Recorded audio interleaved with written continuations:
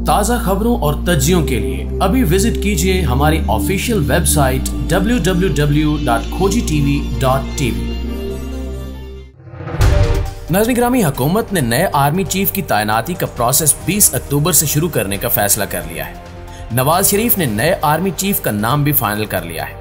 सबक सदर आसिफ जरदारी की जानब से की जाने वाली तमाम कोशिशें रायगांगी क्योंकि वो जिस शख्सियत को नया सिपा सालार बनवाना चाहते थे नवाज़ शरीफ ने उन्हें आर्मी चीफ लगाने से साफ़ इनकार कर दिया है। जराए का यह भी कहना है कि मौजूदा आर्मी चीफ ने जो नाम रिकमेंड किया, नवाज़ शरीफ ने भी उसे मुस्तरद कर दिया है। अब सवाल ये उठ रहा है कि अगर नवाज़ शरीफ सब की जानब से भेजे जाने वाली तजावीज मुस्तरद कर रहे हैं तो फिर इनके जहन में कौन सा नाम है? वो किस लेफ्टिनेंट जनरल को नया आर्मी चीफ लगाना चाहते हैं? हुकूमत ने पाक फौज को बैसियत इदारा तबाह करने की ठान ली है। क्योंकि आर्मी चीफ की तैनाती या तकर्री तो हर तीन साल बाद होती है। लेकिन इस बार की अपॉइंटमेंट को जिस कदर मुतनाज़ और सियासी इस टब्बर ने बनाया है, इसकी माजी में कोई मिसाल नहीं मिलती। और अब तो इन्होंने बाकायदा तौर पर नए आर्मी चीफ से मुतलिक लाबिंग तक शुरू कर दी है। दोस्तों, हुकूमत या वजर आज़म का इस्तेकाक होता है कि वो भेजी गई समरी में से किसी को भी नया आर्मी चीफ लगा दे। लेकिन भानमती के कुंबे ने इस आम तरीन तैनाती को इस कदर पोलराइज कर दिया है। और ये सब लाबिंग वगैरह, ये किसी की मोहब्बत में हरगिज नहीं कर रहे। बल्कि कहते हैं कि चोर चोरी से जाए, हेरा फेरी से न जाए। सबक वजी अजम नवाज़ शरीफ पर यह मिसाल बिल्कुल फिट बैठती है। इनके बारे में ये मशहूर है कि वो हरगिज अपने दुश्मन को माफ़ नहीं करते, बल्कि कई साल पुरानी अदावत और बोझ दिल में रखते हैं। वक्त आने पर सारा हिसाब चुका देते हैं। अब नवाज़ शरीफ ने बेटी के लंदन पहुँचते ही अग्रेसिव मूड में आने का फैसला कर लिया है। क्योंकि स्टैब्लिशमेंट से उन्होंने जो बातें मनवानी थी वो मनवाई जा चुकी हैं। तमाम फैसले रिवर्स कराए जा चुके हैं। मरियम नवाज़ को बरीत मिल गई पासपोर्ट भी वापस हो चुका है। मरियम नवाज़ अपने वालिद के पास पहुँच गई हैं और जल्द नवाज़ शरीफ की सजा भी कालादम हो जाएगी। इसलिए अब इन्होंने फैसला किया है कि वो खुद फ्रंट फुट पर खेलेंगे और दूसरे फरीक को बिल्कुल बैक फुट पर धकेल दिया जाए। ताज़ा तरीन प्रेस कॉन्फ्रेंस में सबक वजी ने एक बार फिर गुजरावाला जलसे की याद दिला दी। नवाज़ शरीफ ने इदारों पर हमले किए और अदलिया से मुतलक इंतहाई तजीक आमेज ज़ुबान इस्तेमाल की। नवाज़ शरीफ इस किस्म की इल्ज़ाम तराशी से क्या हासिल करना चाहते हैं? आज की इस वीडियो में इस पर तफसीली डिस्कशन की जाएगी। लेकिन इससे पहले एक आम तरीन डिवेलपमेंट भी आपके साथ शेयर कर दें कि सिंध में बिल आखिर नए गवर्नर की तैनाती कर दी गई है। कामरान टिसूरी नए गवर्नर सिंध मुकर हो गए हैं। लेकिन इस तैनाती पर भी बहुत से सवाल उठ रहे हैं और इसका खुर अब स्टैब्लिशमेंट की तरफ़ जा रहा है। दोस्तों, कामरान टिसूरी ने सियासी कैरियर का आगाज़ पीर पगाड़ा की मुस्लिम लीग फंक्शनल से किया था। इसके बाद वो एम क्यू एम में शामिल हो गए। अल्ताफ हुसैन की जानब से की जाने वाली मुतनाज़ तरीन तकरीर के बाद वो एम क्यू एम पाकिस्तान के डिप्टी कन्वेज बन गए। 2018 में होने वाले सैनेट इलेक्शन में कामरान टिसूरी को सैनेटर का टिकट दिए जाने के मामले पर खालिद मकबूल सदीकी और डॉक्टर फारूक सितार में इख्तलाफात शदीद हो गए। और नौबत यहाँ तक पहुँची कि डॉक्टर फारूक सितार को एम क्यू एम पाकिस्तान छोड़नी पड़ी।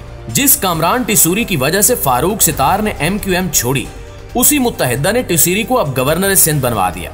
हालाँकि पीपी से किए जाने वाले मुआदे के बाद एम ने गवर्नर के लिए नसरीन जलील का नाम तजवीज किया था। अब खबरें ये हैं कि स्टैब्लिशमेंट की जानब से कामरान टिसूरी का नाम तजवीज किया गया था और इनकी हिदायत या हुक्म पर ही इन्हें गवर्नर सिंध लगाया गया है। मारूफ तजियाकार मेजर आदिल राजा रिटायर्ड ने भी अपने ट्वीट में सारा कच्चा चट्ठा खोलकर रख दिया है। उन्होंने साफ़ लफ्जों में दावा किया कि सिंध में सौदा मिस्टर जैद ने करवाया। अब कामरान टिसूरी को बलदयाती इंतबात से एन पहले गवर्नरी दिलाना बहुत से सवाल को जन्म दे रहा है और जिस जानब उंगलियाँ उठ रही हैं, ये इंतहाई तशवीशनाक सूरत हाल है। दोस्तों, सबक वजी अजम नवाज़ शरीफ ने मीडिया नुमाइंदों से मुलाकात में गुफ्तगु की, जिसमें उन्होंने फिर गुजरा वाला जलसे की तारीख दोहरा दी। इस नाम नेहाद प्रेस कॉन्फ्रेंस बल्कि फरमाइशी इंटरव्यू में पाक फौज पर मिसाइलों से हमला कर दिया। वहीं अदलिया पर भी खुदकुश बमबारी की। तीन मरतबा के वजी अजम रहने वाले नवाज़ शरीफ की खुद एतमादी का आलम यह है कि इस नाम नेहाद इंटरव्यू या प्रेस कॉन्फ्रेंस से पहले तो मरियम नवाज़ ने मनपसंद सहाफियों को अपने भाई हसन नवाज़ के दफ्तर बुलवाया। उन मनपसंद सहाफियों को भी मर्ज़ी के सवाल करने की इजाज़त हरगिज नहीं थी। बल्कि कैलबरी क्वीन की जानब से जो फरमाइशें की गई, वही सवाल पूछे गए। मुस्लिम लीग नून की जानब से खुद नवाज़ शरीफ का इंटरव्यू एक रोज पहले रिकॉर्ड किया गया। जिन सहाफियों को मधु किया गया था, उन्हें इस इंटरव्यू या गुफ्तगु की रिकॉर्डिंग तक की इजाज़त नहीं दी गई थी। जराये की जानब से दावा किया गया है कि मरियम बीबी ने सहाफियों को साफ़ और दो टोक अल्फाज में हिदायत की थी कि नवाज़ शरीफ से कोई मुश्किल सवाल ना पूछे जाएँ। सिर्फ़ ऐसे सवाल पूछे जाएँ जिनसे हमारी मजलूमियत ज़ाहिर हो।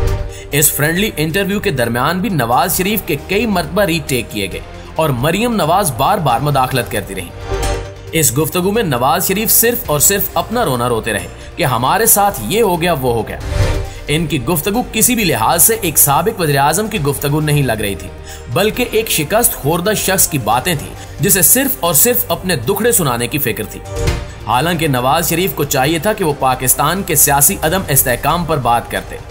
खदशात और गैर यकीनी के बादल कब तक छट जाएँगे, इस हवाले से बात करते मीशत की बेहतरी के लिए फौरी तौर पर उठाए जाने वाले इकदाम का ज़िक्र करते वतन वापसी के हवाले से पूरा एक्शन प्लान कौम के सामने रखते रजीम चेंज ऑपरेशन से मुतलिक बात करते बल्कि इनकी सारी गुफ्तगु मेरी बेटी, मेरी अहलिया, मेरी वालदा, मेरे बच्चे और मेरे भाई तक महदूद रही। इस किस्म के लोगों ने पाकिस्तान का पूरी दुनिया में मज़ाक बना दिया है। आलमी रहनुमा भी इस किस्म की सतही गुफ्तगु सुनकर सोचते होंगे कि यह कैसा मुल्क है, जहाँ इस किस्म के मस्करे हुक्मरान बन जाते हैं। दोस्तों, अब कुछ ज़िक्र हमारी टॉप स्टोरी का। सीनियर सहाफी एजाज सैयद ने बहुत ही बड़ा दावा कर डाला है। एजाज सैयद एक बहुत ही बेहतरीन और प्रोफेशनल जर्नलिस्ट है। जिन मौजूद पर वो लिखते हैं, इसकी वजह से इनके रावलपिंडी अपारा बल्कि पूरी मिलिट्री स्टैब्लिशमेंट में बहुत ज़्यादा ताल्लुक है। अब इन्होंने बहुत बड़ा दावा करते हुए कहा है कि नवाज़ शरीफ ने जनरल आसिम मुनीर को आर्मी चीफ लगाने के लिए ग्रीन सिग्नल दे दिया है, जबकि मौजूदा army chief general Qamar Javed Bajwa किसी और को लगवाना चाहते हैं। दोस्तों, जनरल आसिम मुनीर डीजीआईएसआई भी रह चुके हैं। दिफाई तजियाकार मेजर आदिल राजा साहब ने अपने एक ट्वीट में कहा कि नए सिपा सालार की तैनाती के लिए इस वक्त लाबिंग जोरों पर है। आदिल राजा ने एक मेजर जनरल का नाम लेकर बाकायदा आईएसपीआर से सवाल किया कि इदारे को इस मामले पर वजाहत करनी चाहिए कि कैसे किसी जनरल को आर्मी चीफ बनाने के लिए लाबिंग की जा सकती है। अब से पहले पाक फौज में ऐसा कभी नहीं हुआ। लेकिन अगर ये लॉबिंग का सिलसिला एक बार फिर शुरू हो गया तो फिर इदारे की हैसियत पंजाब पुलिस किसी हो जाएगी। लेकिन हमें यकीन है कि पाक फौज इंतहाई मुनजम इदारा है और इसका अपना सिक्योरिटी का निज़ाम बहुत ही बेहतरीन है। वहाँ इस सब की गुंजाइश नहीं होगी। अब देखते हैं कि आईएसपीआर की जानब से इस पर वजाहत आती है या खामोशी से एक्शन लिया जाता है। अल्लाह ताला पाकिस्तान की हिफाजत फरमाए। आमीन सुमामीन ताज़ा खबरों और तजियों के लिए अभी विज़िट कीजिए हमारी ऑफिशियल वेबसाइट www.khojiTV.tv